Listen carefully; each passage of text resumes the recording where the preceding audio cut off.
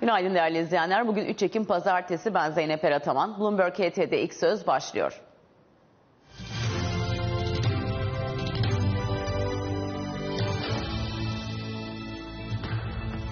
Dışişleri Bakanlığı Rusya'nın Ukrayna'nın bazı bölgelerini ilhakı hakkında yazılı açıklama yaptı. Bakanlık konuya ilişkin olarak Rusya'nın Ukrayna'nın Donetsk, Luhansk, Herson ve Zaporijya bölgelerini ilhak kararını reddediyoruz ifadesini kullandı. Rusya düzenlenen referandumlarla bu dört bölgeyi ilhak ederek Rusya'nın yaklaşık %15'ini topraklarına kattı.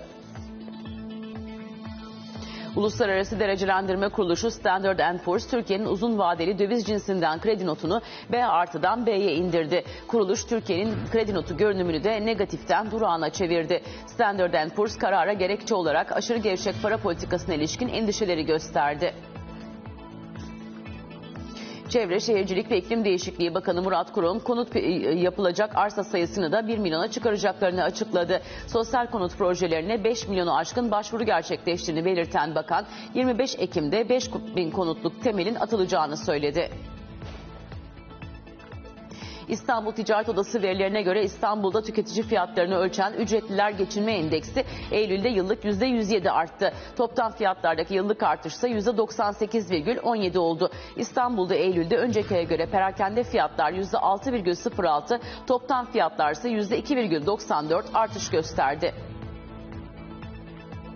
Sermaye Piyasası Kurulu vadeli işlem ve opsiyon piyasasında yer alan sözleşmelerde gerçekleştirilen işlemlerden dolayı 10 kişi hakkında suç duyurusunda bulundu. SPK bültenine göre bir şirket 10 gerçek kişiye 3 Ekim'den itibaren borsalarda 2 yıl sürecek şekilde işlem yasağı uygulanacak. Ayrıca Akdere İnşaat Turizm Tekstil AŞ'ye 2 yıl işlem yasağı uygulanacak.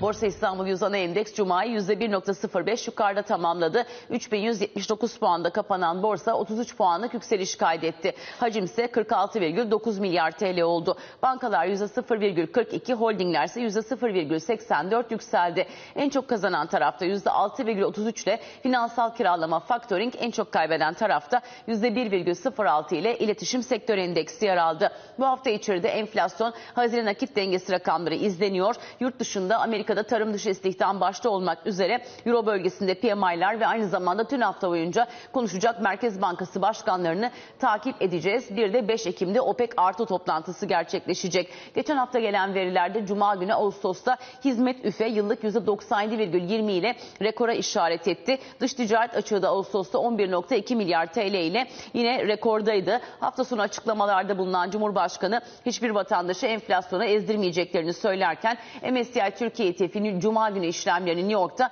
%0.18 aşağıda tamamlamıştı. CDS'de 779 bas puanda. Bu arada tahvil tarafına döndüğümüzde gösterge bileşik 23 bas puan artışla 15.06, 10 yıllık kağıdın bileşik getirisi ise 6 bas puan yükselişle 11.99 seviyelerinde kapanış yaptı. Kurlar tarafına geldiğimizde Amerika'da çekirdek PCE %5 gelince piyasa beklentisini aştı. Dolar tarafında 2015'ten bu yana en iyi çeyreklik performansta geride kaldı. Yeni güne başlarken dolar TL 18.53 68 ile rekora yakın kalmaya devam ediyor. Euro TL cephesinde 18.21 12 ile yeni haftaya başlıyoruz. Bu da sepet kuru 18.35 34'e getirdi. Dolar endeksi tarafında 112 14 ve e, Euro dolarda 0.98 seviyeleri ekranımıza yansıdı. E, bununla beraber gelen haber akışında Çin'den Birleşmiş Milletler'e bir çağrı vardı. Kuzey akımla ilgili araştırma yapılması için. Biden Kuzey akım hakkında sızıntı kesinlikle sabotaj dedi.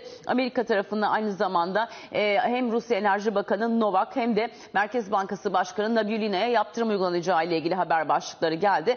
Danimarka ise gaz, gaz sızıntılarının durduğuna ilişkin açıklama yaptı. Gazprom bu arada Sibirya'nın gücü projesi üzerinden Çin'e yine doğal gaz sevkiyatının yeniden başladığını da ifade etti. Zelenski ise Ukrayna'nın hızlı bir şekilde NATO üyeliğine başvuracağını söyledi. Bu haber akışının yanı sıra Avrupa borsalarına döndüğümüzde Stox 600 endeksi Haziran'dan beri en kötü aylık performansı %7,8'lik düşüşüyle gösterdi. Üçüncü çeyrek kaybı böylelikle %6 seviyesine ulaşmış oldu. Cuma itibariyle %1,3 yükselen Stox 600'de inşaat sektörü %2,4, medya sektörü %2,3 yükselişlerle olumlu yönde ayrıştı. Euro bölgesinde yine enflasyon açıklandı. Eylül'de %10 seviyesi rekora işaret ediyor. İngiltere'de büyüme ise pandemi öncesine G7 ülkeleri içerisinde ulaşamayan tek seviyeye gelmiş vaziyette. İngiltere'nin yıllık büyümesi bu arada %4,4, çeyreklik tarafta ise %0,2 olarak gerçekleşti. 7 e, Ekim'de İngiltere Bütçe Ofisi'nin raporunu hazırlaması bekleniyor. Öncesinde İngiltere Başbakanı Truss yaptığı açıklamada e, ekonomi planının açıklanmasından e, Maliye Bakanı'nı sorumlu tuttu ve iletişimde hata yapmış olabiliriz şeklinde bir açıklaması söz konusu oldu. Avrupa Merkez Bankası'ndan Ignazio De Visco yaptığı açıklamada aşırı hızlı ve büyük oranlarda faiz artırımının durgun, durgunluk riskini belirginleştireceğini söyledi. Ve Euro bölgesinde işsizlik oranı Ağustos'ta %6,6 ile tam da ekonomistlerin tahmin ettiği şekilde gerçekleşti. Amerika'ya döndüğümüzde ise Michigan Üniversitesi'nin tüketici güven endeksi 58.6 ile Ağustos'ta beklentiyi yakalayamadı. Dow Jones Sanayi Endeksi 500 puan düşerken e, Kasım 2020'den beri ilk defa 29 bin çıtasının da altında bir kapanış yapmış oldu. S&P 500 %1,5 Nasdaq tabii o kadar düşerken S&P Mart 2020'den beri en kötü aylık performansı da beraberinde getirmiş oldu. Eylül ayının bilançosunda Dow Jones Sanayi Endeksi %8,8'de 2020'den beri en kötü Eylül ayını geride bırakırken S&P 500 %9.3, Nasdaq ise %10.5 değer kaybetmişti. Cuma gelen verilere baktığımızda kişisel gelirler %0.3, harcamalar %0.4 yükseldi. Çekirdek PC ise %5 ile beklentinin üzerindeydi. S&P 500'deki 53 şirket 52 haftanın en düşük seviyelerini görürken e, Fed yetkililerinden Lael Brainard kısıtlayıcı para politikasından erken çıkmamaya kararlı olduklarını söyledi. Aynı zamanda aynı gün konuşan Barkin parasal sıkılaştırmanın enflasyonun düşüşüne kadar devam edeceğine dair yine sıkılaşmacı bir mesaj verdi. Şirket haberlerinde bilançosunu açıklayan Nike %12,8 düşerken Twitter'ın %3 yükselmesinde Ari Emanuel'in e, Musk ve Twitter arasında e, aracılık yap yapmaya gönüllü olduğu fikri de öne çıktı. Üçüncü çeyrek bilanço sezonuna geri sayıyoruz. Burada iki yılın en kötü bilanço sezonu bekleniyor. S&P 500 karlarında %2,9'da 2020'nin üçüncü çeyreğinden beri en düşük artışın görülmesi bekleniyor. Söz konusu çeyrekte ise %5.3 kadar geri çekilmişti karlar. Bununla birlikte 12 aylık FK'lara bakıldığında S&P 500'de 15.4 hesaplaması söz konusu. 5 yıllık ortalamalar 18.6, 10 yıllık ortalamalarsa 17.1 seviyesinde bulunuyor. Hal böyleyken JP Morgan'dan Kolanovic konuştuğunda 2020 için S&P 500'e koydukları 4800'lük hedef seviyenin de risk altında olduğuna işaret etti. Asya tarafına döndüğümüzde ise Çin'de bu hafta altın hafta dolayısıyla piyasalar kapalı. Bugün aynı zamanda Güney Kore'nin de kapalı olduğunu söyleyelim. Japonya'da büyük imalatçının ekonomiye güvenini ölçen Tankan Endeksi geldi ve 3. çeyrekte 8 seviyesi beklentiyi yakalayamamış oldu. Jibun Bank'ın hazırladığı Eylül ayına ilişkin imalat PMI'da 50.8'de sektörde büyümeye işaret etti. Bu hafta Asya'da Avustralya Merkez Bankası toplantısı da izlenecek. Öncesinde ise MSCI Asya Endeksi Ekim 2008'den beri en kötü aylık performans performansı geride bıraktı. Bu sabah açık olan Asya piyasalarında karışık bir görüntü var diyelim ve gidelim Amerika'da vadeliye Ekim ayına başlarken burada da yine bardağın dolu tarafı boş tarafı henüz piyasa karar vermedi.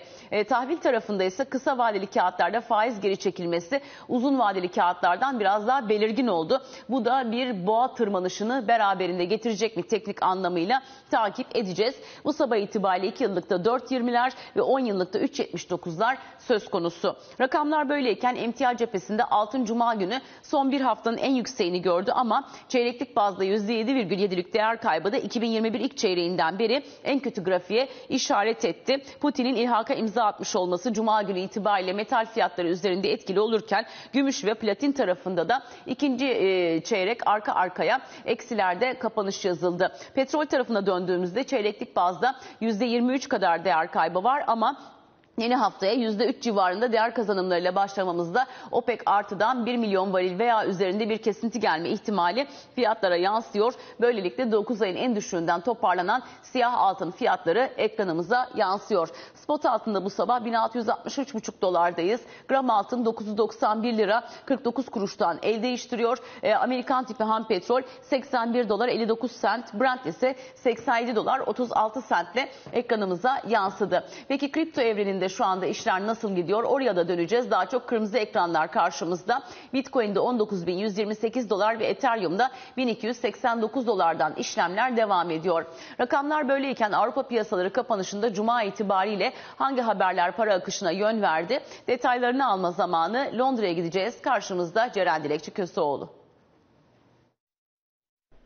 Avrupa borsaları İtalya öncülüğünde günü sert düşüşle tamamladı. Merkez bankalarından şahinleşen e, beklentiler, resesyon endişeleri, İngiltere'nin radikal vergi indirimi planı Avrupa borsalarında kayıpların sertleşmesi, tedirginin artmasına neden oldu ve e, Stoxx 600 endeksi Ocak ayı zirvesinden %20'ye varan oranda değer kaybetti. Tabi diğer tarafta endeksler bazında hareketler de önemli. Çünkü bankacılık endeksi, otomotiv endeksinde kayıpların yoğunlaştığını takip ettik. Mesela Credit Suisse hisselerinde kayıplar %10'u aştı. E, çünkü her ne kadar e, şirket ABD pazarından çıkmayı düşünmediğini açıklamış olsa da e, şirketin stratejisine dönük, bankanın planlarına dönük olarak soru işaretlerinin gündeme gelmesi, şüphelerin artması hisselerde sert satışı beraberinde getirdi. Otomotiv tarafında ise Alman otomotiv devi Volkswagen Almanya'da artan enerji maliyetlerini gerekçe göstererek üretim kapasitesini Almanya'nın dışına taşımayı planladığı haberi yer aldı. Dolar endeksi 2002'den bu yana en yüksek seviyeye çıktı. Ee, gelişmiş ülke para birimleri dolar karşısında kayıplarını hızlandırdılar. Özellikle e, sterlin dolar karşısında değer kaybı dikkat çekiciydi. Çünkü sterlin dolar karşısında %3'e e, yaklaşan oranda değer kaybetti. Böylelikle 2020 Mart'tan bu yana en sert düşüşü kaydetti ve e, 1985 yılından bu yana ilk kez 1.10 seviyesinin altı test edilmiş oldu. Yani 1.08.90'lara kadar geri çekildiğini takip ettik sterlin dolar paritesinin. Tabi İngiltere'nin hükümetinin açıkladığı iddialı vergi indirimi planı bunda etkili oldu. E, çünkü İngiltere hükümeti 1970'li yıllardan bu yana büyümeyi canlandırmak için oldukça iddialı bir vergi indirimi planı ortaya koydu. İngiltere Maliye Bakanı Varteng'in açıklamalarına göre e, planlanan vergi artışları yapılmayacak. Aynı zamanda temel gelir vergi oranı Nisan 2023'te %19'a indirilecek. İlk konut alımlarında damga vergisi düşürülecek. Bankacıların ikramiyelerini sınırlama kaldırılacak. E, bu gibi çok sayıda radikal adım var. Tabi bunun aslında bütçe üzerindeki etkisi e, endişe yaratan unsur. Çünkü tahvil ihracı hedefini de arttırdı. İngiltere Borç Yönetim Ofisi 72 milyar sterlin arttırdı. 2022-2023 dönemi için 234 milyar sterlin seviyesine çıkardı. E, Truss'ın politikalarının sürdürülebilirliği noktasında endişeler artıyor. E, bununla beraber tabi baktığımız zaman e, bu planın sadece enerji planının 6 aylık maliyeti de 60 milyar sterlin olduğu, genel olarak vergi indirimleri dahil edildiği zaman maliyetinin 160 milyar sterlini bulabileceği belirtilen e, konular arasında İngiltere Merkez Bankası'ndan faiz artırım beklentileri hızlandı. Artık Kasım ayı toplantısında 100 bas puanlık faiz artırımına piyasa neredeyse kesin gözle bakıyor. Son olarak Avrupa'dan PMI verilerini takip ettik. Tabi Eylül ayı öncü PMI verileriydi ve 3. ay üst üste kritik eşik olan 50 seviyesinin altında kalmaya devam etti. Hem imalat hem de hizmetler PMI. Ee, bununla beraber aynı zamanda tabi Almanya özellikle önemli. Çünkü ülke bazında baktığımız zaman S&P Global'dan e, gelen açıklama da bu yöndeydi. Almanya'nın üretiminde yaşanan düşüş e, en çok şu anda endişe verici unsur diyebiliriz. Ve Amerikan borsa kapanışına ilişkin detayları da New York'tan Melike aktaracak. New York'tan selamlar. ABD borsaları Cuma gününü geride bırakırken 3. çeyreği de Eylül ayını da geride bıraktı. Eylül'ün son günüydü, haftanın son günü, 3. çeyreğin son günü ve e, Eylül ayının performansına bakarsak 2008 finansal krizden beri geçirdiği en kötü Üçüncü çeyrek ve Eylül ayını geride bıraktı S&P 500. %7.9 düşerek sadece Eylül ayında. Üçüncü çeyrek için %3.8 yıl başından beri %23 düşmüş. Ve e, Cuma günü düşüşüne sebep olan bir katkıda bulunan faktörlerden biri de PC Deflator'ın sıcak gelmesiydi, artmasıydı, beklenenden daha fazla gelmesiydi. Tabii Şahin konuşan Fed yetkilileri de etkili oldu. Mesela Lael Brainerd diyor ki evet e, enflasyonla mücadelede faizler artırılacak, artırılmalı. Ekonomiye zarar verse de Nike'nin hissesi %12 düşerken fiyat e, düzeltmelerine gideceğiz, artırışlarına gideceğiz. Çünkü enflasyon ciddi ve üçüncü görünüm, e, e, çeyrek görünümünde düşürüyoruz demesiyle birlikte hisse senedi düşerken teknolojideki birçok hissenin 52 haftanın dibinde trade ettiğini görüyoruz. Ve bunların arasında Microsoft Alphabet var. S&P 500'ün içindeki firmaların beşte biri böyle. E, çok zorlu bir çeyreği gerçekten geride bıraktık ve Nike Boeing eşliğinde 400 puandan fazla düşen Dow Jones Cuma gününü kapattı diyorum. Söz tekrar size İstanbul'a veriyorum. Ve bugün itibariyle kafa karıştıran bir durum oldu. Fed'in bugün toplantısı var. Rutin mi, acil mi tartışma konusu. Detayları ve daha fazlası için dönüyoruz Amerika'ya. Ciner Medya Grubu Amerika Birleşik Devletleri temsilcisi Ali Çınar'a soralım. E, Ali tabii e, bana da sabahtan çok soran oldu. Acaba Fed'in bugünkü toplantısı rutin mi, acil mi diye. İstersen öncelikle bu konuyu bir netleştirelim. Sonrasında da bu hafta içerisinde tarım dışı istihdam başta olmak üzere tabii ekonomi cephesine takip edeceğimiz önemli veriler var. Başka neler bu hafta içerisinde izlenecek ve piyasaya yön verebilir dersin? Öncelikle iyi yayınlar diliyorum Zeynep. Amerika Birleşik Devletleri'nde gündem ekonomi olmaya devam ediyor. İlk ana gündem ve bahsettiğin gibi Fed'in yönetim kurulu toplantısı bugün yapılacak. Kapalı bir oturumda olacak ama bir e, panik yapmaya gerek yok çünkü rutin olan bir toplantı olduğunu belirtebilirim. Geçen ay bir kere sadece toplanmıştı ama yılbaşından bu zamana kadar baktığımızda e, ayda ortalama iki veya üç kere kapalı oturum yaptıklarını biliyoruz. O nedenle Fed'in bugün yapacağı toplantının rutin olduğunu belirtmekte fayda var. Aynı şekilde Fed Yönetim Kurulu üyeleri bu hafta içinde salı ve perşembe günleri kamuoyuna yönelik olan etkinliklerde konuşma yapması bekleniyor ve bilhassa enflasyonun indirilmesi ve Kasım ayındaki e, Fed'in alacağı kararla ilgili sinyallerinde verilmesi bekleniyor. Ama genel hava hala Fed'in 75 e, bazlı faiz artırımı ile ilgili de Kasım'da karar alma ihtimali olduğu tabii bu da hem enflasyon verileri hem de cuma günü işsizlik rakamı açıklanacak geçen ayın. Bunlar tabii ekonomik verilerde etkili olacak. Amerika'nın genel gündemine baktığımızda Başkan Biden bugün Porto Rico'ya, çarşamba günü de Florida'ya gidiyor. Aslında ana gündemlerden bir tanesi de kasırga ile Ian kasırgasıydı. Florida eyaletine toplam maliyetinin 70 milyarın üzerinde olması bekleniyor. O nedenle çok ciddi olarak ekonomik kayıplar, turizm sektörü olmak üzere e, ciddi kayıpların olduğu belirtiliyor ve Başkan Biden'ın da ziyareti olacak. Hazine Bakanı Yellen'ın bugün Mali İstikrar Gözetim Konseyi de bir toplantısı olacak. Buna liderlik yapacak. Kapalı oturumda finansal istikrar ve enerji piyasası gelişmeleri hakkında e, bilgi alması yani yeni güncelleme toplantısı olduğunu söyleyebilirim. Aynı şekilde Türkiye saatleri 21.30'da halka açık bir bölümü olacak bu gözetim konseyinin ve burada da iklimle mücadele, dijital varlıklar olmak üzere yılının kamuoyuna bazı açıklamalar yapması bekleniyor. Ekonomik verilere ile ilgili önemli açıklamalar olacak bu, hafta. Cuma günü dediğim gibi işsizlikle ilgili e, rapor açıklanacak geçen ayın. Tarım dışı geçen haftanın istihdam rakamları Perşembe günü açıklanacak. Aynı şekilde e, Ağustos ayının ticaret açığı verilerinin açıklanması bekleniyor. Yani bu haftada önemli ekonomik verilerin e, kamuoyuyla paylaşılması bekleniyor. Aynı şekilde Amerika tarafında OPEC e, kin yapacağı çarşamba günkü toplantı önemli. Zira Kasım ayındaki üretim kotası ile ilgili karar da Amerika Birleşik Devletleri'ni etkiliyor. E, çünkü akaryakıt yakıtları ve OPEC'ten alınan kararlarda e, direkt olarak Amerikan enerji piyasasıyla da ilgili olduğunu söyleyebilirim. Son olarak dış politikada Ukrayna ana gündem maddesi ABD'nin Cuma günü yeni yaptırımları vardı kişi ve kurumlara. Ee, bunun ileriki dönemde de devam etmesi bekleniyor. Toplamda 17 milyar dolarlık askeri zaten yardım yapılmıştı ve Başkan Biden e, Rusya'yı sert şekilde eleştirmeye, Ukrayna'ya da tam destek vermeye bekliyor. Aynı şekilde gündemde bugün baktığımızda Brezilya'daki seçimler var.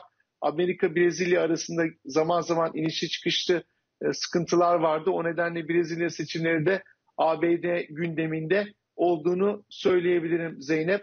Ama genel olarak ekonomiyle mücadele, enflasyon e, ana gündem maddesi olarak da hem Beyaz Saray'ın hem de Hazine Bakanlığı'nda gündeminde e, olarak devam edecek bu haftada.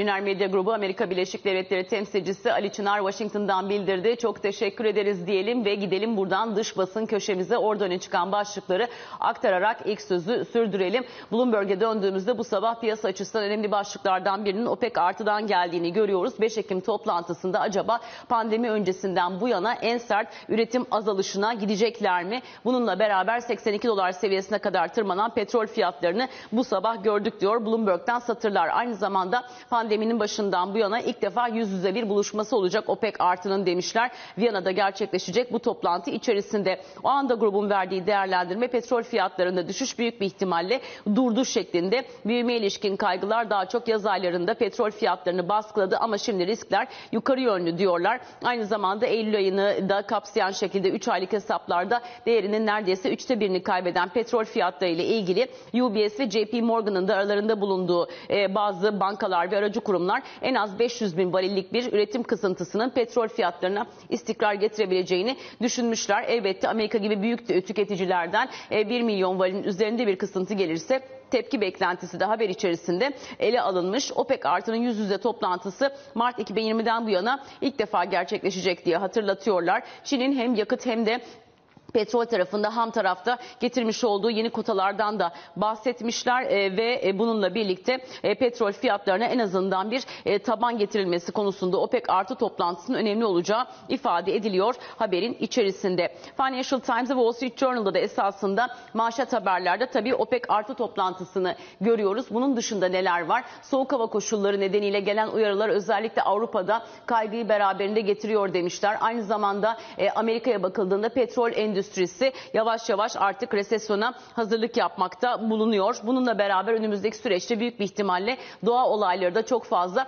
arkamızdan esen bir rüzgar teşkil etmeyecek gibi gözüküyor. Çok daha büyük kasırgalar e, olabilir ama her zamankinden daha iyi tahmin etme gücüne de sahibiz şeklinde bir detay vermişler. İngiltere Başbakanı Truss'ın büyüme pro- programının e, sadece bir e, sihirli iksir olduğunu söylüyor. Martin Wolf'un bugünkü köşe yazısı. Brezilya'da ise seçimler gerçekleşti ama ikinci tura kaldı. 30 Ekim'de ikinci turda tekrar Lula ve Bolsonaro karşı karşıya gelecek demişler. Haberin detaylarında. NATO aynı zamanda Rusya'ya uyarıda bulundu. Eğer nükleer silah kullanımına giderse çok ciddi karşılıklar olacağını söyledi. Credit Suisse'de ise geçen hafta içerisinde hem tarihi diplere inen hisse senedi hem de bu sene içinde 55 bas puandan 250 bas puana kadar yükselen CDS'i takip etmiştik. Konuyla ilgili e, CEO'nun yaptığı açıklama 100 günden daha az bir sürede bankaya bir U dönüşü yaptıracağına işaret etti. E, Bununla ilgili haberler bugün Financial Times'ın kapak sayfalarında yerini alıyor. Wall Street Journal'a geldiğimizde burada da yine manşette e, OPEC var sabah saatlerinden bu yana. Diğer yandan e, bu sene Kasım ayında Amerika'da ara seçimler de olacak. E, Ara seçimler sonrasında rally'nin devam edeceğine inanmayan bir yatırımcı pozisyonlanması söz konusu diyor Wall Street Journal'dan bugünkü satırlar. Kriptodaki oynaklığın aynı zamanda Wall Street'te fırsatlar yaratabileceğine de işaret etmişler. Enflasyon beklentilerinin bir miktar aşağı dönmesi uzun süredir yatırımcının tercihi olmayan tüfe endeksli Amerikan kağıtlarına da ilgiyi beraberinde getirebilir diyorlar. Yine Brezilya'nın seçimleri burada da kendini hissettiriyor. İngiltere Merkez Bankası sadece enflasyon ve finansal kriz değil aynı zamanda kendi hükümetine karşı da bir mücadele vermek zorunda kalacak demişler. İngiltere Başbakanı Liz Truss politikadan geri dönüş olmayacağına işaret eden açıklamalarında daha çok Maliye Bakanı'nı suçladı ve bu planla ilgili çok daha iyi bir iletişim kurulabilirdi şeklinde bir hatanın kabulüyle de bugün Wall Street Journal'ın kapak sayfasında yerini almış durumda. Rusya-Ukrayna gelişmeleri de gazetede genişçe yer buluyor yine bu sabah diyelim. Ve gidelim buradan S&P'ye Cuma günü itibariyle Türkiye'nin not değerlendirmesi takvimdeydi. Geçen pazartesi yayın yaptığımızda Gizem Öztürk Altınsaç notun inmesini bekliyorum dedi. Aynen de öyle oldu. Hangi gerekçeyle ekrana getireceğiz? Uluslararası Kredi Derecelendirme Kuruluşu Standard Poor's, Türkiye'nin aşırı gevşek para politikasına ilişkin endişeleri gerekçe göstererek Türkiye'nin uzun vadeli döviz cinsinden kredi notunu B artıdan B'ye indirdi. Standard Poor's, Türkiye'nin kredi notu görünümünü ise negatiften durağına çevirdi. Kuruluş yaptığı açıklamada not indirimine gerekçe olarak gevşek para ve maliye politikasını, düşük net döviz rezerv seviyesini ve TL'nin kırılganlığını gösterdi. Açıklamada 2023 parlamento ve cumhurbaşkanlığı seçimleri öncesinde Türk politika yapıcılar finansal ve parasal istikrar yerine büyümeye öncelik veriyor ifadeleri yer aldı. Standard Poor's Eylül sonunda yayımladığı raporda bu yıla ilişkin Türkiye büyüme tahminini %5,2'ye, 2023'e ilişkin büyüme tahminini ise %2,8'e yükseltmişti. S&P Eylül ayı raporunda Türkiye'de bu yılın Ağustos ayında %80 seviyesine ulaşan enflasyonun genişlemeci politikalar nedeniyle bir süre daha çok yüksek seviyelerde seyredeceğini belirtmişti. S&P enflasyonun daha sonra enerji fiyatlarının daha ılımlı hale gelmesi ve baz etkisiyle kademeli olarak azalarak 2023'te %40 seviyesine düşmesinin beklendiğini belirtmişti. Ve gazetelerde öne çıkan başlıklar diyelim Habertürk.com'da tüketiciler için yeni düzenlemeler yürürlüğe girdi haberi var. Ticaret Bakanlığı'nın tüketicinin daha ileri seviyede korunması için yayımlanan düzenlemeleri bugün itibarıyla yürürlüğe girdi. Detayları Habertürk.com'da bulabilirsiniz diyerek dünyanın manşetine ilerleyelim. Üçüncü dönem için değerleme oranı %92.93. Kısmi enflasyon düzeltmesi sürüyor. Şartları oluşmasına rağmen enflasyon muhasebesi ise 2024 yılını bekliyor demişler. Haberin detaylarında. Hürriyet'in ekonomi sayfası ise hatlardan artık ikinci eliniyor demişler. Türkiye'de fabrika benzeri ikinci el araç yenileme tesislerinin sayısı hızla artıyor demiş bugün Hürriyet'in otomotiv köşesi. E, sırf e, sıfır araçların e, üretim ve satın alma maliyetleri zorlaşırken ilki bu sene kurulan ikinci el araç yenileme tesislerinin sayısı hızla artıyor. Bir otomobil firması gibi tasarlanan bu merkezlerin araç kapasitesinin yıl sonunda 100 bin adede ulaşması, 2023 yılında ise 200 bin adede kadar çıkması bekleniyor bekleniyor. Türkiye'de yılda ortalama 800 bin adet sıfır otomobil üretildiği düşünüldüğünde yakın gelecekte yenileme merkezlerinin bantlarından inen otomobil sayısının sıfır otomobil sayısını geride bırakması işten bile değil demiş bugün Taylan Özgür Dil'in haberi. Sabahın ekonomi finans sayfasında ise çip krizinin maliyeti 100 milyar euro diyorlar. Çip krizinden en fazla zarar gören sektör otomotiv endüstrisi oldu. Allianz Trade'in araştırmasına göre çip sıkıntısının küresel otomotiv üretiminde 18 milyon adetten fazla kayba neden olduğu tahmin ediliyor. Çip krizinin 2021 ve 2022'de Avrupa'ya maliyetinin ise 100 milyar euroyu bulması bekleniyor. Ve turda son durağımız Milliyet Gazetesi olacak. İşte, işte to, ekonomik e, torba teklif demişler. E, çalışana elektrik ve gaz desteğine vergi istisnası haberi var. Hükümetin üzerinde çalıştığı işçi, işveren ve muhtaç kesimlere yönelik desteği de içeren ekonomik torba teklifindeki bazı düzenlemelere Milliyet Gazetesi ulaştı. Henüz son şekli verilmeyen teklif Cumhurbaşkanı Erdoğan'ın onayının ardından meclise sunulacak demişler.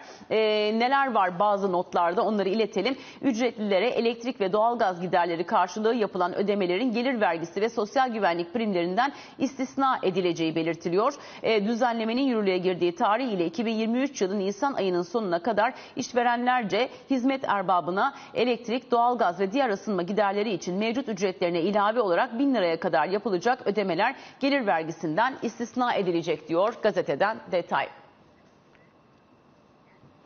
Ve her pazartesi olduğu üzere Gizem Öztok Altın Saç'la birlikteyiz. E, Gizem günaydın, hoş geldin yayınımıza diyelim. Öncelikle hemen hakkını teslim edelim. E, bir defa daha e, derecelendirme kuruluşları ile ilgili tahmininin tuttuğunu görüyoruz. Geçen pazartesi de seninle konuştuğumuzda demiştim ki bir öncekini tutturdun. Hadi şimdi bir daha konuşalım aynı konuyu. Notumuz düşer demiştin. Ve öyle de oldu. Az önce ekrana da getirdik. B artıdan B'ye inen bir not söz konusu oldu. Görünüm ise durağına çevrildi. Not indirimine gerekçe ise gevşek para ve maliye politikaları, düşük net döviz rezervi ve TL'nin kırılganlığı e, seçime gidilen dönem içerisinde e, büyümeye öncelik verilmesi ve enflasyonla mücadelenin anladığımız kadarıyla e, sadece gelecek senenin baz etkisine kalmış olması. Notu sen nasıl buldun? Öne çıkardığın başlıklarda neler olur? Bundan sonrasına ilişkin öngörülerin nelerdir? Aslında hep konuştuğumuz şeylerden bahsediyor not düşüşünde S&P. Gerçi Zeynep şunu da söyleyebilirim. İki kademe de gelebilirdi bu arada. Hmm. Ee, biz o pazartesi konuşmadık. Onu tabii ki de biraz agresif olduğu için ama evet. ben onu da ihtimal dahilinde buluyordum bu arada. O yüzden en azından iki kademe gelmediği için birazcık e, daha ılımlı okudum notu. Yoksa not düşüşü gelmesi son derece doğal. Zaten CDS bunların hepsini çoktan fiyatladı. Dolayısıyla e, alt başlıklarda da seninle her zaman konuştuğumuz Türkiye'nin dış finansman ihtiyacındaki ihtiyaç, bunun yarattığı baskı. Şimdi bu çeyrek dış borç ödemeleri çok yüklü. Kur üzerinde grafiği sürekli takip edenler ve özellikle FX traderları zaten şunu net görüyorlardır. Çok stabil gitmiyor kur. Kademe kademe yani şiddetlenecek gibi gözüküyor. Bunda birazcık bence sıkıntı var. Bunun dışında esas konumuz her daim enflasyonla mücadele ve enflasyonla mücadele etmiyoruz. Yani enflasyonla mücadele yöntemleri daha farklı oluyor. Ee, o yüzden de bizi bir müddet daha yüksek enflasyon bekliyor. Ama şu doğrudur. Ya baz etkisine kalmış bir durum var. O baz etkisi de kur böyle kalırsa bu varsayım çok önemli.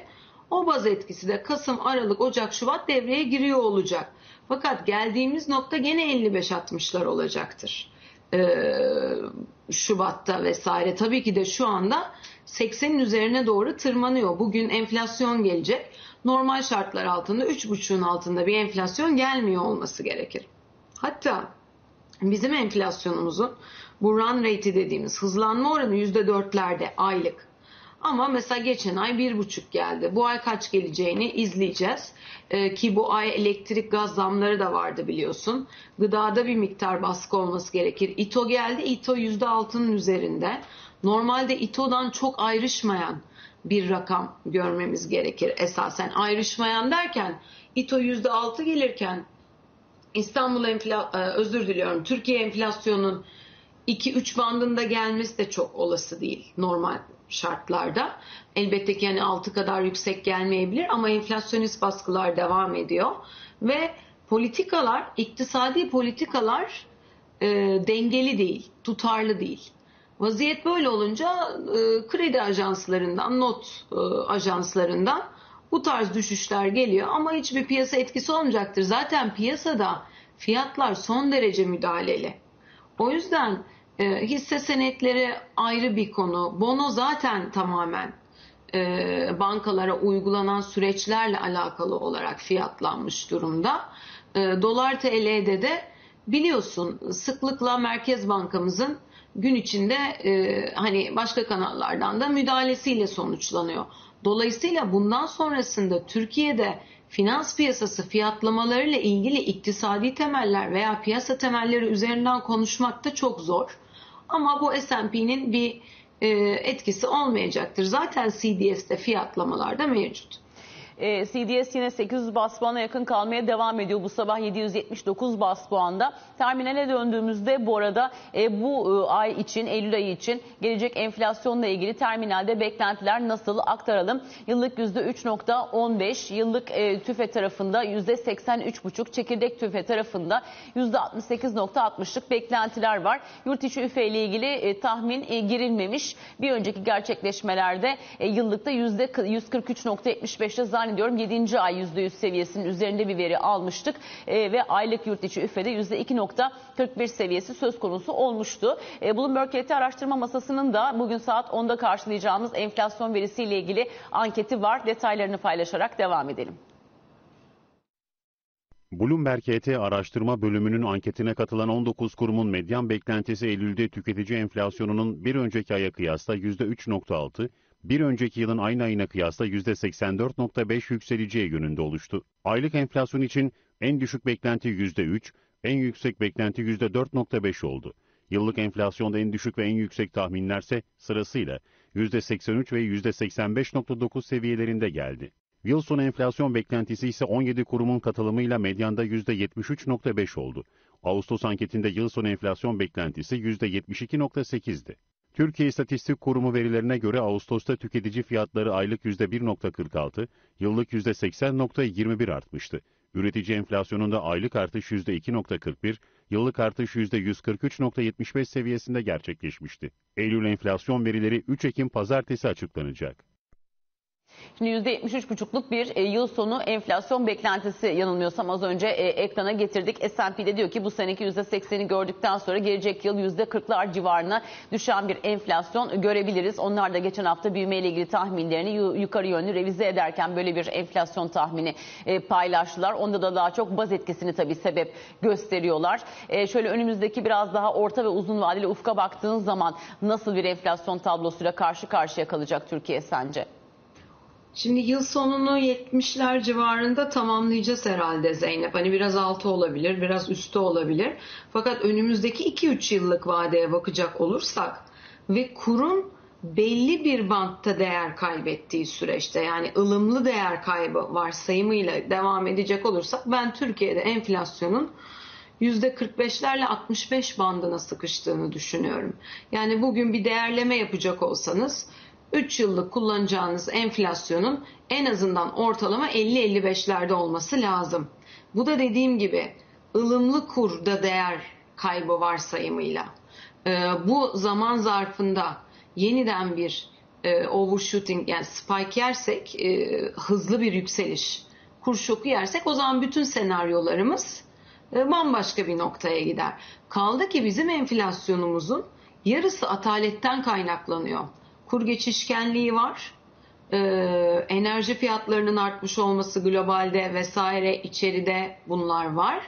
Ama Türkiye'de bir atalet problemi var enflasyonda ve atalet katsayısı daha yapışkan giderek de artıyor.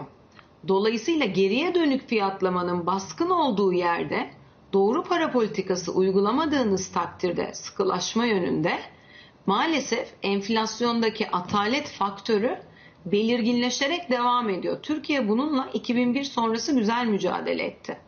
Ama bu kur geçişkenliğinden daha sıkıntılı bir faktör. Enflasyonu yapışkan yapan, yukarıda tutan. Dolayısıyla ben bu faktörden dolayı 3 yıllık vadede enflasyonun demin telaffuz ettiğim seviyelerin çok kolay altına gelebileceğini düşünmüyorum. Eğer bir politika değişikliği olmaz ise. Bu birincisi. Ee, ikincisi de bakın Türkiye'de enflasyonun bir kısmı arz yanlı, maliyet faktörleri var. Fakat bir kısmı da talep yanlı ve o talep yanlı kısmı öyle çok az değil. Bu kadar büyüme kaydederseniz potansiyelinizin üzerinde yani bizim excess demand dediğimiz aşırı talebe kaçarsanız arzla bunu örtüştüremiyorsunuz ve o aşırı talep enflasyonist baskı yaratıyor. Zaten merkez bankalarının amacı o çıktı fazlasını yönetmek. Aslında her merkez bankasının maksadı enflasyon hedeflemesi uyguluyorsanız o çıktı fazlasını doğru yönetip enflasyonu olması gereken patikaya oturtmak. Bunu faizi belli bir seviyede tutarak yapmanız çok söz konusu değil. Artık hiç artı bu hani benim yorumum değil Merkez Bankamızın çıktı fazlası grafikleri son derece net. O grafiğe bakan herkes Türkiye'de talep yanlı enflasyon olduğunu net bir şekilde söyler. Vaziyet bu olduğu için böyle arz yanlı enflasyon etrafında dolanmak enflasyonu yanlış analiz etmek oluyor. Eğer bununla doğru mücadele etmezsek enflasyonist baskılar devam edecektir. Dolayısıyla ben Türkiye'nin orta vadeli enflasyon görünümünde geçtiğimiz yıllardaki gibi 20'li seviyelere vesaire inmesi de zaten çok olası bulmuyorum. 3 yıllık vade için konuşuyorum. Zeynep var olan politikalarla. bu da orta vadeli görünüm. Bu arada dünyada ne oluyor olacak? Dünya enflasyonla mücadele ediyor. Ha bölgesel olarak hatalı politikalar oluyor. Mesela İngiltere'nin yaptığı, birazdan seninle konuşuyor oluruz. Hı hı. Veyahut Japonya'nın saplandığı süreç gibi yani çok doğru uygulamalar yapamayan e, iktisadi politika dizayn eden bölgeler de oluyor. Ama dünya enflasyonu kontrol edecektir. E, çünkü çok agresif bir finansal sıkılaşma var. Özellikle ABD tarafından gelen. Bu finansal sıkılaşma muhakkak ki özellikle 6 ay sonra gecikmeli geliyor biliyorsun etkileri aktarım mekanizmasından dolayı enflasyonu aşağı çekecektir. Ve e, durgunluk olsa bile ekonomilerde. Ama şunu unutmayalım. Enflasyonu aşağı çekiyorsunuz. Kısa bir dönem durgunlukla sonuçlanıyor. Belki 6 ay, belki bir yıl. Ardından da ekonomiler sağlıklı işleyişine devam ediyor.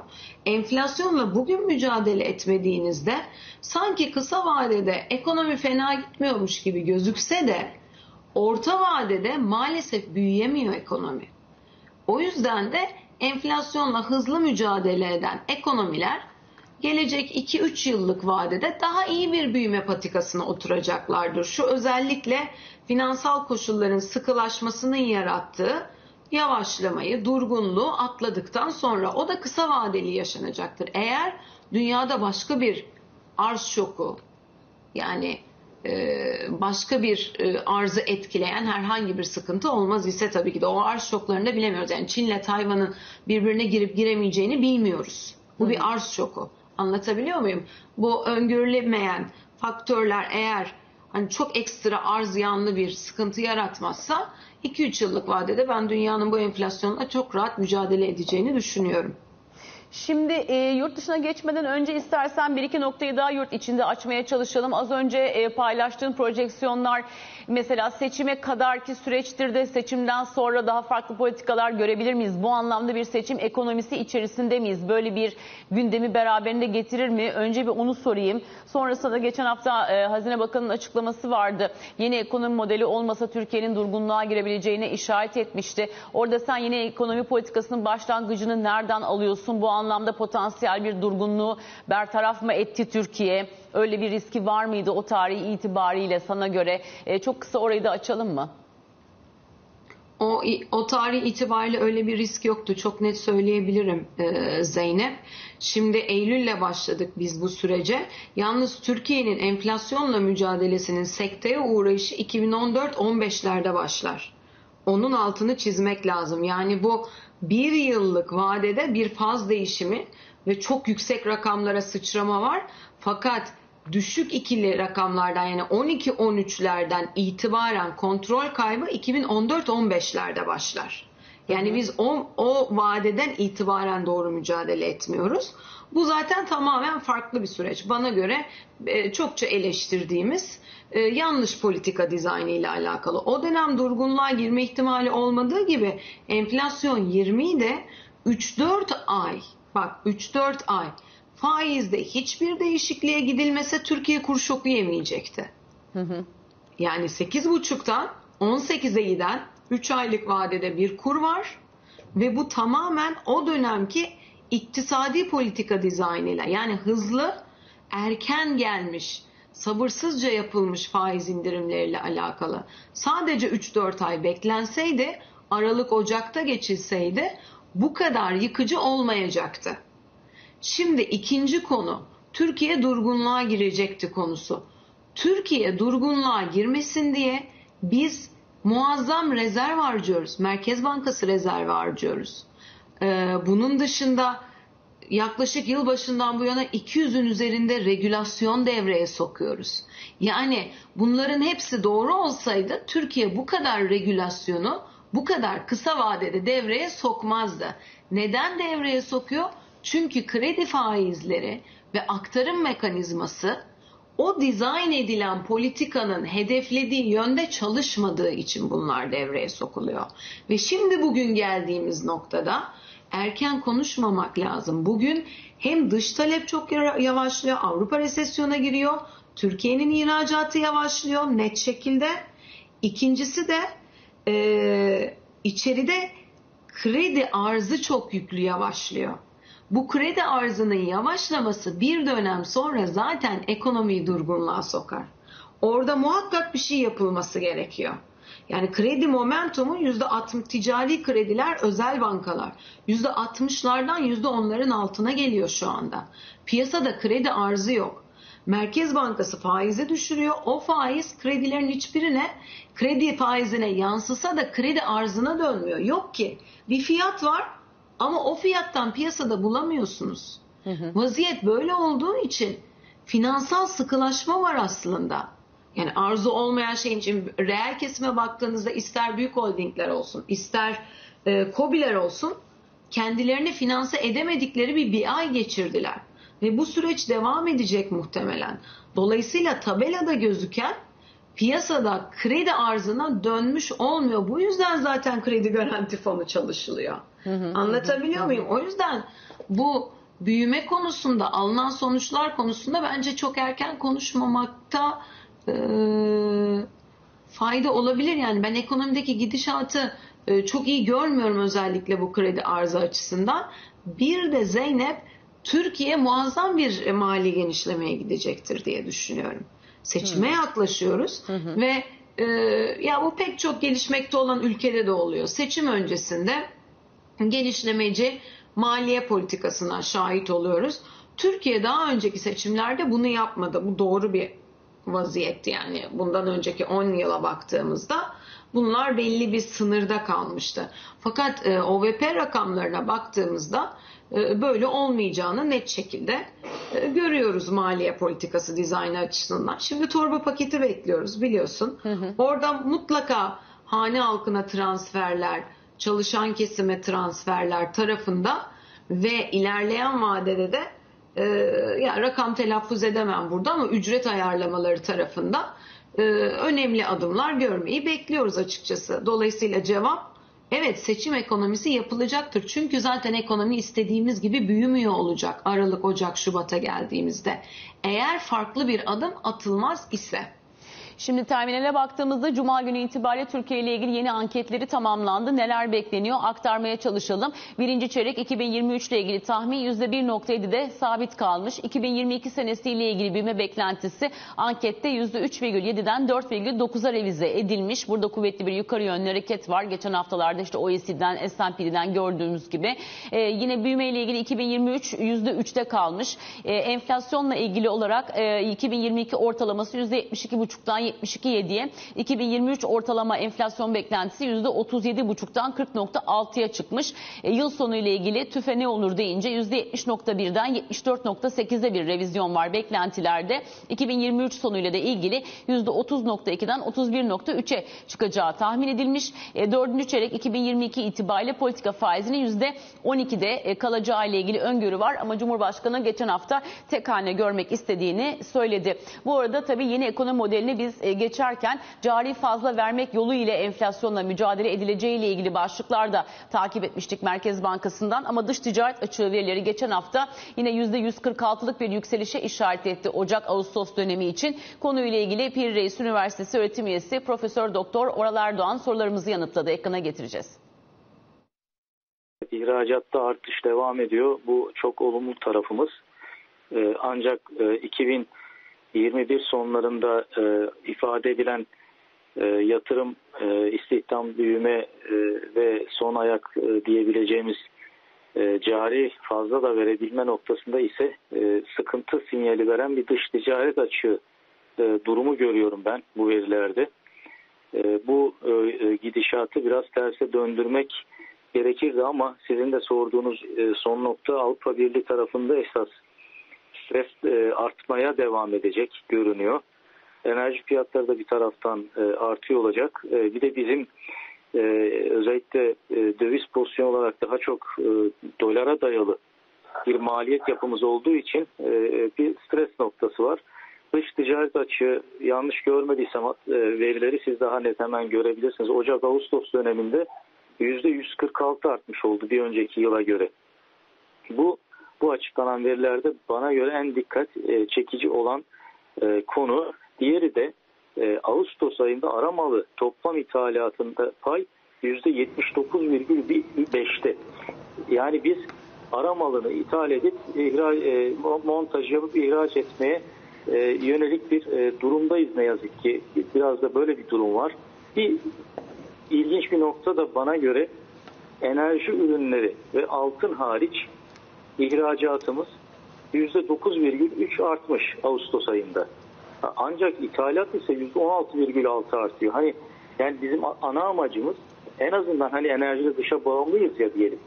Onu hariç tuttuğumuzda bizim dış ticarete artı verebilmemiz lazım. Hemen hemen her ay artı vermemiz lazım diye düşünüyorum.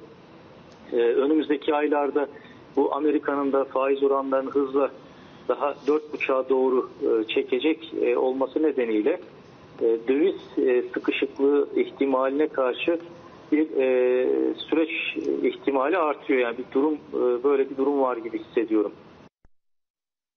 Şimdi tabii en büyük ticaret ortaklarımızdan bir tanesi İngiltere'de de senin de az önce aktardığın gibi sular durulmuyor. Yeni bir hükümet söz konusu. Maliye Bakanı öyle bir paket açıkladı ki aslında tabii enerji maliyetlerine karşı belki hane halkının şirketleri bir miktar e, sübvanse etmeyi, korumayı hedeflemişti. Ama ortaya çıkan tablo e, daha da körüklenen bir enflasyon kaygısını beraberinde getirdiği için İngiltere Merkez Bankası da bilançosunu tahvil satarak küçültecek. Aslında ilk Merkez Bankası olacaktı ama bu jokeri elinden alınmış oldu herhalde. Bundan sonrasında İngiltere'den ne beklemek lazım onu konuşalım istersen. Çünkü sadece olayın iletişimiyle ilgili bir problem görüyor Başbakan. Bu program devam edecek diyor. İletişimiyle ilgili zaten problem var. Şöyle düşünelim. 22 Eylül'de aslında İngiltere Merkez Bankası ilerleyen vadede nasıl bir e, miktarsal sıkılaşma yapacağını açıklayacağını duyurdu. E, 23'ünde mini bütçe geldi. Evet. Dolayısıyla burada Merkez Bankası ile hazinenin birbiriyle olan ilişkisinde ya ardı sıra yani Bank of England'ın bundan haberi yoktu anladığımız kadarıyla. Ee, çünkü bir gün sonra genişlemeci bir bütçe gelecekse biraz e, o adımı atmanız zordur gibi gözüküyor şu anda. İletişim politikasında evet öyle bir problem var. Tabii onların daha çok söylediği şey Liz Truss bu açıklamayı yaparken e, piyasalarla olan iletişim konusunu kastediyor ama bence arka tarafta daha çok Bank of England'da İngiliz hazinesi arasındaki iletişim kopukluğu varmış gibi gözüküyor. Bunun ardından da e, biliyorsun e, bu ay, ay sonunda bir açıklamaları olacaktı. E, onu ötelediler e, QT ile alakalı olarak yani sıkılaşma ile alakalı bilanço küçültme ile alakalı olarak.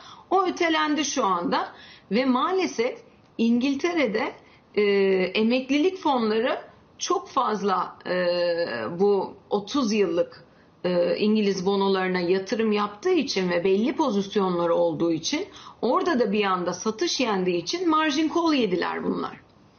İster istemez de İngiliz Merkez Bankası buna yani Bank of England buna müdahale etmek durumunda kaldı. O bonoları alıp en azından daha kötü bir risk ortaya çıkmasın diye e, bu emeklilik fonlarını desteklemek adına bu tarz bir adım yani teknik ayarlama yaptı ama gün sonunda bilanço genişletiyor mu? Evet bilanço daraltmadan konuşulurken bilanço genişletilmeye geçti. Hatta geçtiğimiz hafta e, Bank of England acaba arada bir toplantı yapar da faiz arttırımına gider mi konusu gündeme geldi. Şimdi bildiğim kadar bu o gerçekleşmedi tabii Zeynep. Bu arada tabii pound satış yedi. Ardından işte e, yeniden bir toparlanması vesaire söz konusu oldu. Şimdi burada esas problem bir taraftan e, genişlemeci maliye politikası uyguluyorsunuz. Milli gelirin %6,5 kadarlık bir ekstra e, borçlanmayla sonuçlanacak bir adım atıldı orada. Bu arada bunun aynısını şunun altını çizeyim. Almanya'da yapıyor Zeynep. Yani Almanya'da da genişlemeci maliye politikası devreye giriyor. Hı hı. Ama yapılış şekli birazcık daha farklı. Ee, ve iletişimi daha farklı. Dolayısıyla e, hem Avrupa tarafında hem İngiltere tarafında yapacak başka bir şey kalmadı. Bu gaz yanlı arz şoku ve ekonomilerin hızla durgunluğa giriyor olmasından dolayı maliye politikası gevşiyor. Bir taraftan enflasyon da arttığı için para politikası sıkılaşmaya çalışıyor. Böyle karmaşık ve sonucu netleşmemiş bir Avrupa görüyoruz. Ha bu arada da ne oluyor? Para birimleri değer kaybetmeye devam ederken ara ara bir yükseliş gerçekleşiyor. Ben bu bölgenin paritelerinde yani e, pound da olsun, euro dolarda da olsun bunlar da yukarı yönlü hareketlerin genel itibariyle hep satış fırsatı olduğunu düşünüyorum. Avrupa son derece çıkmaza doğru ilerliyor ve dizayn ettiği iktisadi politikalar uzun soluklu olamayacak düzeyde. Yani bir yıl sürdürebilecek, bir buçuk yıl sürdürebilecek ardından bambaşka bir şeye geçmeye çalışacak. Avrupa ekonomisini çok çok problemli buluyorum. Şimdi de yeni yeni gündemimize zaten Credit Suisse olayı e, geldi. Orada zaten apayrı bir bankacılık konusu olmaya aday şu anda. Bunların hepsini topladığında Ee, İngiltere henüz e, enflasyonda tavan seviyeyi görmedi. Mesela ABD'nin gördüğünü konuşuyoruz. Ama İngiltere muhtemelen bunu birinci çeyreğin sonunda belki Nisan'da vesaire görecek. Oraya kadar kontrol kaybı yaşanırsa sıkıntı. Şimdi şeyi bekliyoruz Zeynep. Harcama tarafında ne yapılacağını da anlatacak Liz Truss. Bildiğim kadarıyla Kasım'a doğru. Onu izliyor olacağız. Takip ediyoruz şüphesiz diyelim. Çok çok teşekkür ederiz. Gizem Öztok Altınsaç bu sabah bizimle olduğun için bir yandan da tabii Amerikan veri meclisinde kısa tarafın uzun tarafa göre biraz daha hızlı geri gelmiş olması da piyasa için yeni haftaya girerken moral kaynağı olur mu takip edeceğiz diyelim. İçeriye döndüğümüzde ise İzmir'de ilk kez düzenlenen Lojistik, Logistics, Depolama ve Teknolojileri Fuarı sektörün önemli isimlerini bir araya getirdi. Fuara katılan Arkas'ın yönetim kurulu başkan yardımcısı Bernard Arkas, şirketin yurt dışı yapılanması ve sektörü Bloomberg KT için değerlendirdi. Röportajı ekrana getirerek kısa bir reklam arasına doğru ilerliyoruz. Önümüzdeki kalan çeyrek için neler planlıyorsunuz? Ee, sektörün e, en azından lokal olarak sektörün en büyük oyuncularından biriyiz. Tabii ki e, dünya devleriyle e, savaşıyoruz. E, bildiğiniz gibi son iki senedir denizcilik sektörü çok olağan dışı bir e, dönemden geçiyor. Ve bulunduğumuz bölge itibariyle e, coğrafik olarak gerek Rusya-Ukrayna e, krizi, e, gerek onun yarattığı e, problemler çok bizi çalkantılı bir döneme sokuyor aslında. E, ama Akdeniz içinde e, biz e, 20 seneyi aşkındır e, hem e, karada e, teş, kara teşkilatımızı hem deniz teşkilatımızı kurduğumuz için kendi ofislerimizle pazar payımızı koru- koruyoruz. E, onun dışında genişleme alanı olarak e, her zamanki hedefimiz Batı Afrika'da e, büyümeye ve teşkilatlanmaya devam ediyoruz. E, onun dışında değişik fırsatlar e, muhakkak e, çıkacaktır coğrafyamızda. Tabii ki coğrafyamızın e, çalıştığımız coğrafyada e, sorunlu bölgeler çok. E, ama e, onlar düzeldikçe de e, yeni bir ivme ka- kazanacağını tahmin ediyorum. Şimdi teknoloji yatırımlarına çok önem vermeye başladığınız son dönemde. Orada işler nasıl gidiyor?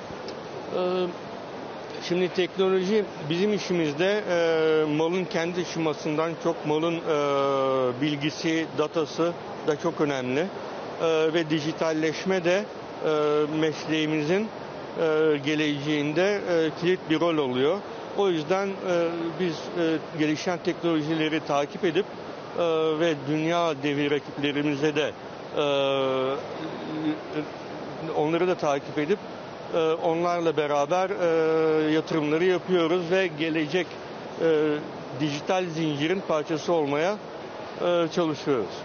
Şimdi genel anlamda baktığımız zaman dünyada navlun fiyatlarının aşağı yönlü hareket ettiğini görüyoruz. Dolayısıyla bu iş yapış şekilleri nasıl etkileyecek bundan sonra? Ee, Evet doğrudur. Şu anda özellikle uzak doğudan e, batı dünyasına e, giden hacmin damlaları düşmeye başladı. E, bizim bölgemizde daha çok Akdeniz, Afrika biraz daha daha az yükselmişti. Ondan daha az düşüyor. Açıkçası biz de izliyoruz bu küresel durum nasıl dünya ticareti etkileyecek. Ama biz dediğimiz gibi yalnızca denize bağımlı bir şirket değiliz. Hem kara hem deniz hem hava kargo gördüğünüz gibi burada da bütün zinciri temsil ettiğimiz için biraz daha korunaklıyız. Ee, iniş çıkışlara e, iniş çıkışlar karşısında.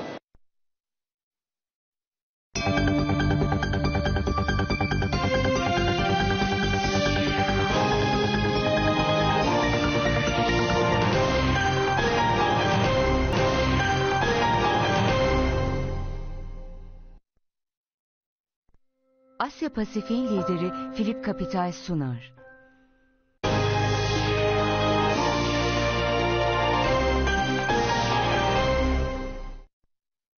Ve küresel piyasalarda son durumu değerlendireceğiz. Çin'de bu haftanın tamamı tatil dedik. Açık olanlarda karışık seyir var. Petrolde ise gözler OPEC artı toplantısına çevrildi. Dubai'ye döneceğiz. Bloomberg ET Dubai temsilcisi Ersoy Kazancı bizimle birlikte. Yeni haftadan neler beklemek gerekir Ersoy? Zeynep günaydın, iyi haftalar. Biraz daha belki petrole dikkat etmek lazım bu hafta. Çünkü sen de söyledin OPEC artı var. Ama önce Asya ile başlayayım. Çin bütün hafta kapalı olacak. Golden Week altın hafta sebebiyle. Bugün Güney Kore'de kapalı Zeynep. E, haftaya ise genelde satıcılı başladı. Genelde demeyeyim aslında e, bütün ekranlar kıpkırmızı Japonya hariç ona da özellikle baktım hani bir haber var mı diye e, 0.50 civarında artısı Nikkei'nin Japon yeni yine değer kaybetmeye devam ediyor tekrar devam ediyor öyle söyleyeyim Japonya Merkez Bankası çok yakın zamanda müdahale etmişti daha önce müdahale ettiği seviyelere yine geldi 145'e yaklaştı yen bakalım yine müdahale edecek mi ee, yine Japonya'da Tankan endeksi geldi. İkinci çeyrekte 9'du. Üçüncü çeyrekte 8'e düştü. Ee, güven biraz azalmış durumda Japonya'da ama buna rağmen dediğim gibi piyasa artıda Hong Kong'un Hong Kong'un eksisi yüzde birlerin üzerinde. Amerika'da Cuma günü eksiyle kapattı. Genel olarak piyasalarda tabii ki yüksek faizler, Şahin Fed ve enflasyon endişeleri hala fiyatlanmaya devam ediyor. Ee, Asya özelinde e, dediğim gibi bu hafta biraz e, büyük ihtimalle e, hacimler düşük olur Zeynep. Çin kapalı olduğu zaman diğerlerinde de çok fazla işlem hacmi açıkçası e, olmuyor. E, petrolde ise çarşamba günü OPEC artı olacak. Şöyle bir özelliği var Zeynep. E, 2 Mart 2020'den bu yana ilk defa yüz yüze fiziksel olarak yapılacak. E, hatırlarsan hep çevrim içi yapılıyordu. 10 dakika sürüyor diyordum. Tabii ki bu sefer daha uzun sürecek. Ve beklentiler e, bugünkü haberlere göre 1 milyon varilin üzerinde bir kesinti olabilir. E, bu da ilk defa olacak uzun zamandan beri. Çünkü hep e, fiyatlar artıyordu e, ve talep yet, e, arz yetersizdi. Üretim artışı baskıları vardı. E, OPE'ye bu sefer ise fiyatlar düştüğü için üretim kesintisi olabilir. Ee, dediğim gibi raporlara göre, beklentilere göre 500 bin ile 1 milyon varil arasında üretim kesintisi e, olabilir diyenler var. Rakamlarda 81 dolarla 87 dolar seviyesinde geçen hafta düşmüştü. Bu haftaya hızlı yükselişle başladı e, petrol fiyatları. E, Orta Doğu ile ilgili e, iki haberle bitirmek istiyorum. Ee, Suudi Arabistan gelecek sene için 2023 için bütçe fazlasını e, %0.2 olarak e, beklediğini söyledi gayri safi milli hasılanın. Bu beklenen düşük bir rakam. Burada da petrol e, beklentisini 76 dolar civarında almış. Bu piyasa beklentilerin daha altında bir rakam e, Zeynep. Son olarak da Dubai'de hep ev fiyatlarından bahsediyorum. Yeni bir rekor kırılmış. E, en pahalı ev 82.4 milyon dolara e, satın alınmış. Ev demeyelim tabi büyük bir villa e, diyelim Pal yine Palmiye Adası'nda. E, evet Çin kapalı genel olarak negatif bir hava var. Petrol hariç diyeyim orada da OPEC artıdan kesinti beklentisi var. Zeynep. Onu da haftanın geri kalanında konuşmayı sürdüreceğiz diyelim. Çok teşekkür ederiz. Bloomberg ET Dubai temsilcisi Ersoy Kazancı.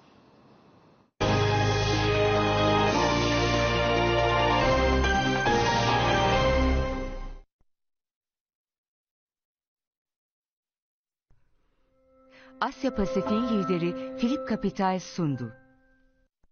Ve Eylül ayı borsada geride kaldı. Info yatırım araştırma uzmanı Yunus Şahin değerlendirdi. Eylül ayı artık geçtiğimiz diyorum ayın son gününde olduğumuz için oldukça yüksek bir volatiliteyle geçmişti. Temmuz'un ortasında aslında başlayan rally Ağustos sonuna kadar devam etmiş. Eylül'ün hatta ilk haftasında devam etmiş. Sonrasında momentum bozulmuştu. Burada özellikle bankacılık özelinde büyük bir hareket vardı ve e, arbitraj fonlarının aslında sıkıştırılarak, spotlama almaları sağlanarak vadeli işlem opsiyon piyasasında e, hareketin başlatılmasıyla e, gelişmeler başladı. E, ama sonrasında tabii ki e, hisse fiyatları çok hızlı şekilde yukarı geldi ve bir noktadan sonra burada e, fiyatlar doyuma ulaşınca, satıcılar ağır basmaya başlayınca hızlı bir düzeltme hareketi gördük. Ee, tabii ki yükselişin sertliği gibi düşüşte de benzer bir durumu gözlemledik. Vadenin sonuna yaklaştıkça da burada risklerin var olduğunu biliyorduk. Geleceğin yatırımlarına yön veren Akbank Yatırım Hizmetleri sunar.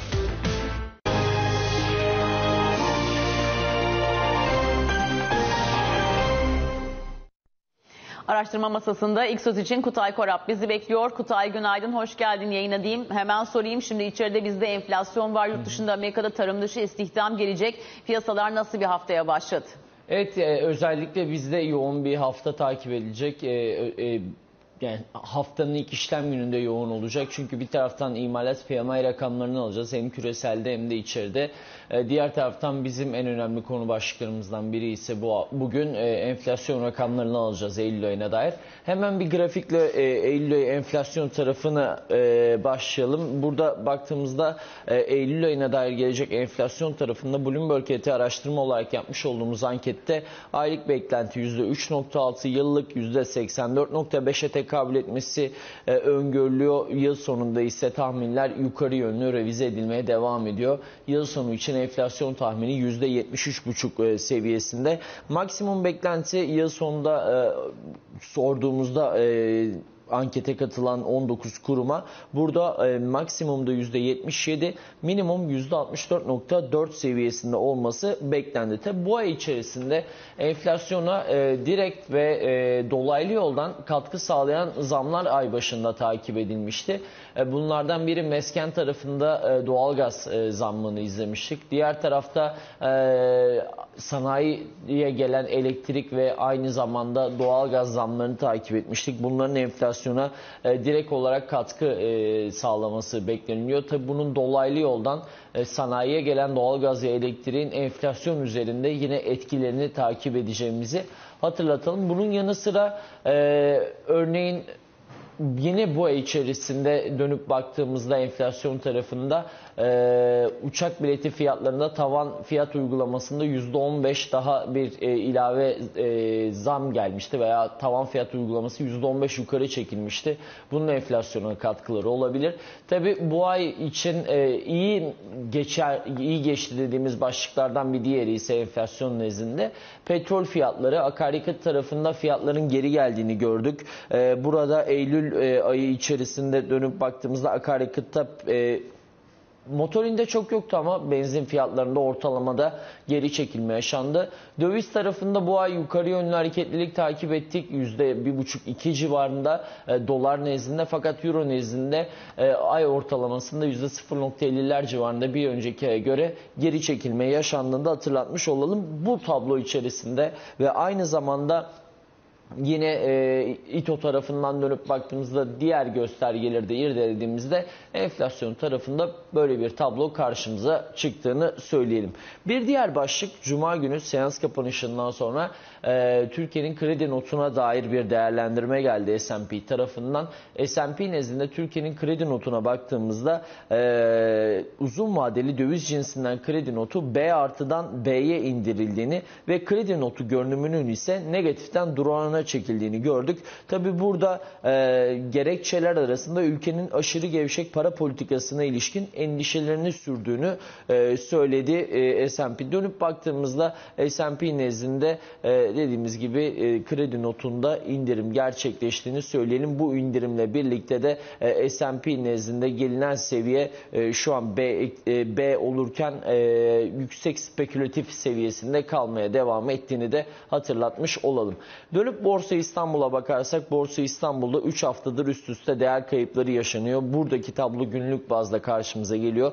E, zirveden e, dibine Borsa İstanbul'un perşembe günkü e, görmüş olduğu en düşük seviyede %18'lere kadar geri geldiğini görmüştük. Özellikle endeks tarihi zirvesinden %15 geri çekilirken 5000 puandan 3000 puana gerileyen bankacılık endeksinin etkin olduğunu gördük burada. Ee, dönüp hemen bir de fiyatlamalara küresel tarafta bakarsak küreselde de benzer senaryo var. Son 2 ayda %15 gerileyen Bloomberg e, hisse senedi piyasasıyla karşı karşıyayız. Piyasa değerleri de 90 trilyon doların altına inmiş durumda. Bir de genel tablomuza bakarsak borsa cuma %1 yukarıda kapattı. Sanayi ulaştırma endeksi destekledi. Ama hacim oldukça düşüktü 47 milyardı. Döviz tarafında 18.53'lü seviyelerdeyiz. Dolar endeksi 12.34'lere tekabül etmekte. ABD 10 yıllıklarında bir geri çekilme var. Buna paralel bir şekilde hisse senedi piyasasındaki oynaklık hala 30'lu seviyelerin üzerinde. Petrolde %2,5'ları civarında kazançlar var. Asya'da borsaların e, Çin ve e, Kore'nin kapalı olduğunu söyleyelim. Avrupa tarafında kapanış pozitifti. ABD endekslerinde ise düşüşler sürmeye devam ediyor Zeynep. Bloomberg HT araştırma uzmanı Kutay Korap çok teşekkür ederiz.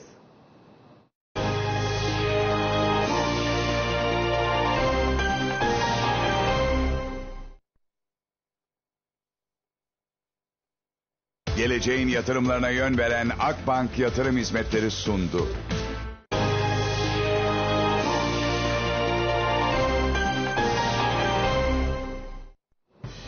Ve BloombergHT.com'da bu sabah öne çıkanlara gidelim. Türkiye'den üst düzey bir heyet Libya'ya gidecek başlığı var. Öncelikle Dışişleri, Enerji ve Tabi Kaynaklar, Milli Savunma ve Ticaret Bakanları ile birlikte Cumhurbaşkanlığı İletişim Başkanı ve Sözcüsü'nün Libya'ya ziyaret gerçekleştireceği açıklandı. Ve bir diğer haberde Brezilya seçimleri ikinci tura kaldı. Brezilya'da eski devlet başkanı solcu lider Lula ilk turda seçim zaferini ilan edemedi. Ülkeyi önümüzdeki 4 yıl boyunca yönetecek lideri belirleyecek seçimlerde ikinci tur 30 Ekim tarihinde gerçekleşecek. Bu haberle beraber ilk sözü noktalıyoruz. Yayınımızı sabah raporuna devredeceğiz. 9.45'te piyasa masasında tekrar buluşmak üzere. Hoşçakalın.